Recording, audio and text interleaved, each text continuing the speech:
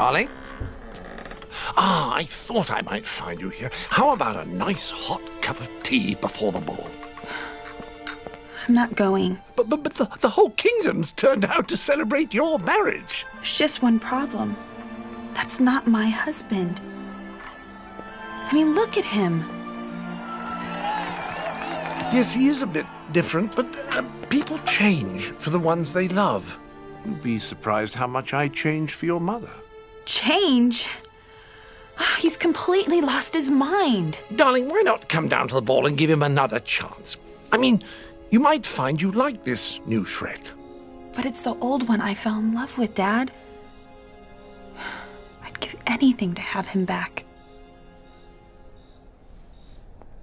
Ah, darling, that's my decaf. Uh, otherwise, I'm up all night.